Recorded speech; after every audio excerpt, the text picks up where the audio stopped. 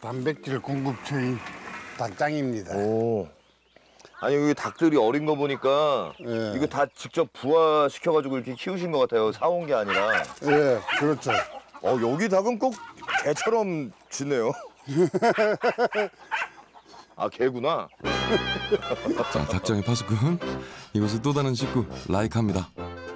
여기다 물 가득 채우면은 이걸 묶어 놓으면은 네. 물이 먹을 만큼만 나와요. 어 이건 웬 잿돌인가요? 병아리들이 네. 그릇 큰데 깊은 물을 먹으면은 죽고 해요. 그러니까 병아리 물통이네요 이거는. 그렇죠. 돌을 받쳐 놓으면은 물이 먹을 만큼만 나와요. 아 근데 이 통은 이 모이통인가요? 닭들이 많을 때는 여기 알을 수도 없이 났어요.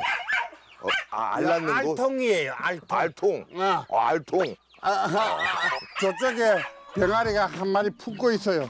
그래서 이제 한 일주일만 있으면 또 병아리가 나올 거예요. 이것도 이제 그 닭들 편하라고 만들어 놓으신 거네요. 사람도 좋은 집에 살고 싶잖아요. 네.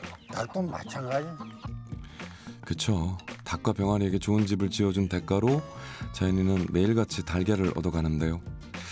자연이 사는 이 산은 정말이지 아 풍족하네요.